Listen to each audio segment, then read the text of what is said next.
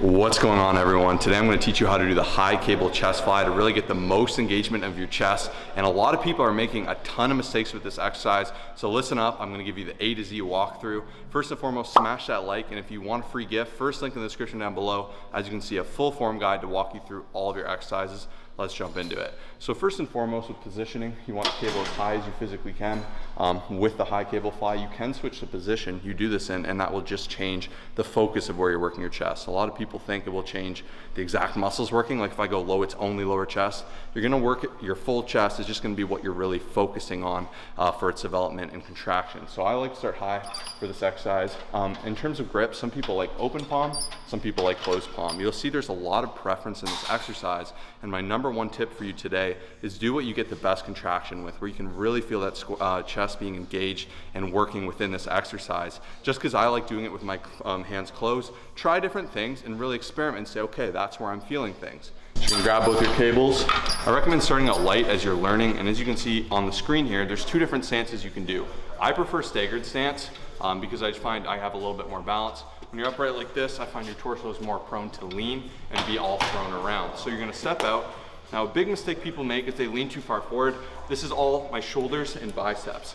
I know working shoulders and biceps is fun, but that is not our goal at this exercise. So instead, you're gonna retract your scapula, stand up tight, really squeeze those abs, open up your arms nice and wide, come in and squeeze, squeezing that chest, open up, letting it pull out, squeeze that chest. A great tip you can do here really focus on squeezing from the bottom of your chest. And a big bonus tip, bring those elbows together. By bringing your elbows together, you'll actually engage more of your chest. If you think of squeezing your hands together, you're gonna actually engage more of your biceps. This is a little thing people don't know.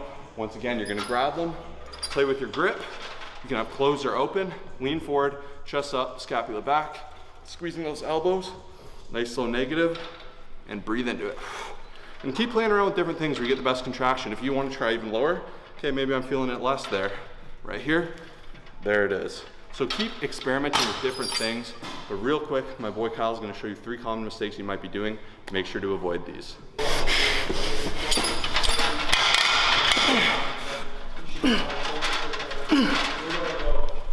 Oh man, there's the first common mistake right there. It's way too heavy weight. And what happens is a lot of times, this is an isolated contraction focused exercise, okay? A lot of times people do not leave their ego at the door. You know, I'm all for lifting heavy, the bench press, the incline bench press, all that good stuff.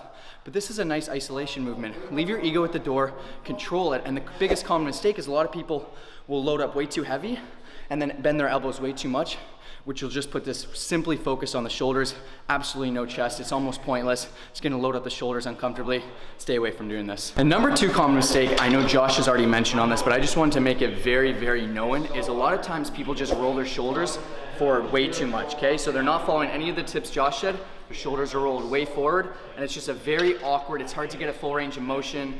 Once again, you load up the anterior delt way too much, and you're already getting a lot of anterior delt work from every other exercise. You wanna make sure that your back is retracted, your shoulders are upright, and you're not just like hunched forward doing one of these things, because once again, you're just not gonna be getting many benefits from this exercise. And number three common mistake, as you can see, a lot of these tie in with just using way too heavy weight. In my opinion, once again, control and contractions are the best for this exercise, okay? So a lot of people just aren't maximizing the full extension. And this is gonna be different for everyone, but once someone's doing this exercise, a lot of them will just stop right here and then bring it back here. You wanna make sure you're getting a big, big, big, big stretch but this is also gonna be different for everybody. For someone like myself, I have a bit of shoulder pain, so I wanna go to the point where I don't bother myself, which will probably be about here. For someone like Josh, he can probably go a little bit further. Push yourself, but make sure you're getting full extension because you don't wanna get half the results that you can from this exercise. So thank you so much for watching this video. Hopefully this helped you out. We are the number one online fitness experts for form and for online coaching. If you ever have any questions about anything, drop it down below. Make sure to subscribe if you're new to the channel, get that free form guide, and we'll see you in the next video. Peace.